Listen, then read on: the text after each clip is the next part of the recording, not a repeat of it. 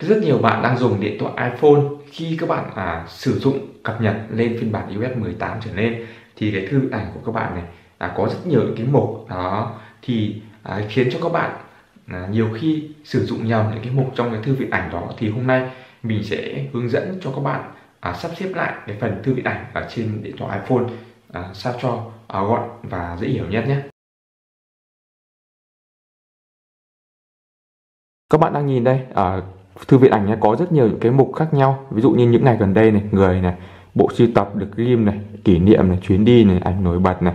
Ở dưới này có album còn gợi hình nền này. Đấy có rất nhiều những cái mục riêng như thế. Vậy thì à, sắp xếp lại như thế nào cho nó gọn để cho dễ hiểu thì các bạn hãy à, thao tác à, với một thao tác hai thao tác cực kỳ đơn giản à, sau đây nhé. Đây cũng là trong cái phần um, album ảnh à, ứng dụng ảnh đó. Các bạn sẽ à, di chuyển xuống mục cuối cùng nhé. Có cái phần là tùy chỉnh. Đấy, và sắp xếp lại các bạn chọn vào.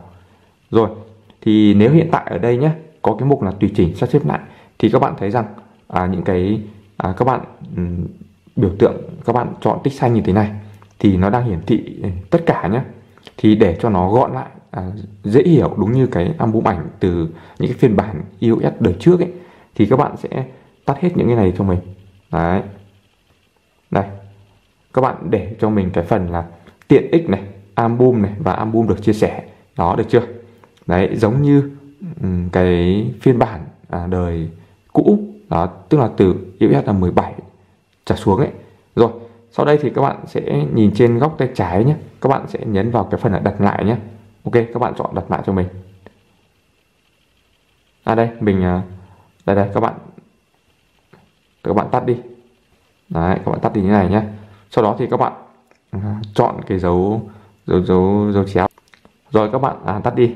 Đấy thì ngay lập tức cái phần à, album ảnh của các bạn trong cái thư viện này nó sẽ rất là gọn thôi. Nó chỉ có những cái phần giao diện album chính này.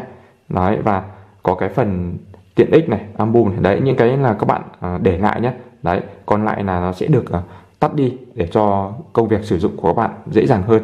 Đấy thì các bạn nào mà đang à, gặp vấn đề hoặc là cái phần giao diện thư viện ảnh của các bạn nó nhiều mục như thế thì các bạn có thể tham khảo video này.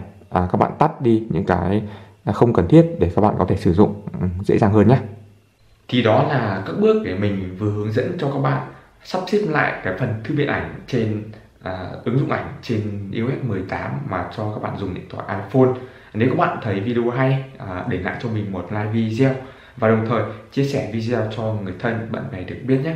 Và nếu các bạn thấy hay nữa thì các bạn à, nhấn cho mình ủng hộ mình một nút đăng ký kênh và nhấn hình quả chuông thông báo để không bỏ lỡ các video mình ra hàng ngày nhé.